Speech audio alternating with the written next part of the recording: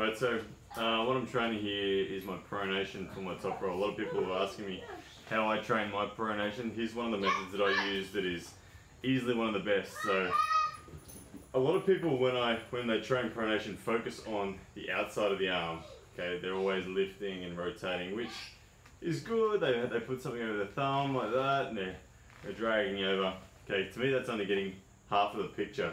The other half of the picture is the down pressure on this side of the arm. So this spring here that I've got here, you can see really isolates the, the down pressure component of the top roll. And the strap here really gets the rising pressure of it. So what I'm going to do is simply combine the two. Now this is just a bike tie tube from my, my mountain bike. One second darling. Oh, you hurt your fingers. So all I'm doing is I've put the, the bike tie tube over the end.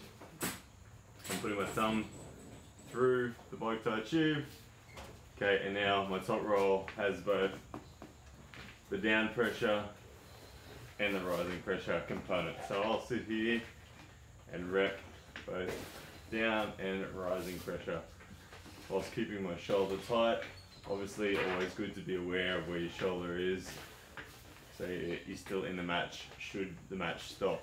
Okay, I've got a thicker uh, spring as well so this one's quite easy. If I really want to ramp it up, I'll grab the other one.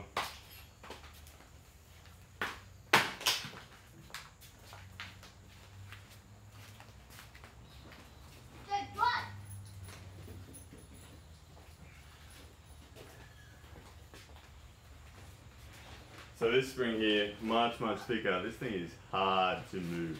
Really, like you watch, if I give it my best, that's about as much bend as you're gonna get out of it in a rotation sense. If you go front on, yeah, a little bit more, but again, combine the two, loop the spring over, thumb through the loop. Now I've got rising pressure, oh man, stuff. Rising pressure. There you go, this is real static max effort. Just to bend this spring whilst trying to rise as well is hugely impossible.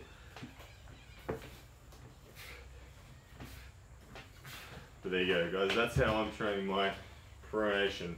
It's all about getting a balance between the outside rising rotation and the inside chopping rotation. Both super important for your top roll, don't forget it.